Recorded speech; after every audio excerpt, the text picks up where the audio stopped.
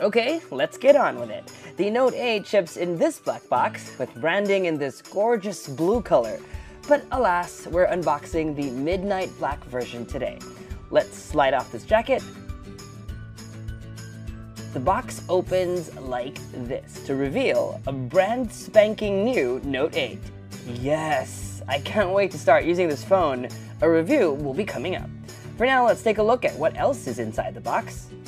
Removing this tray, we get this box.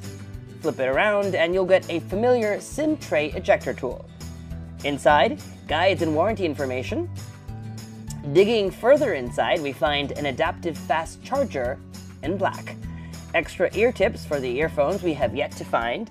USB-C OTG adapter, and a micro USB to USB-C adapter. Finally, lift this flap open. Inside, the USB-C cable. Notice all the accessories are black instead of white, which is a nice touch. AKG branded earphones. If you buy these separately, they're $99 a piece. And extra nibs for the S Pen. Okay, now that that's done, let's get rid of this mess. Bam! Now we can finally unwrap this note. Let's peel all of this off. What's nice about the Black Note 8 is that it really does feel like a seamless piece of glass. The display is made of Gorilla Glass 5. The back is glossy and a bit of a fingerprint magnet. Volume rocker and Bixby button are on the left, power button on the right. Up top, there is a hybrid SIM card tray.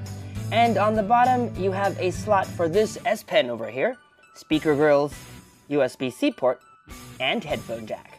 Also on the back, as you can see, the standout feature of the Note 8 is its dual cameras. The fingerprint sensor is also on the back, still oddly placed however, but as you'll notice, the flash module has been added in between the camera and the fingerprint sensor.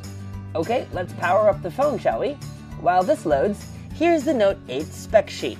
Notice it's either a Snapdragon 835 processor if you're in the US, and an Exynos 8895 elsewhere in the world.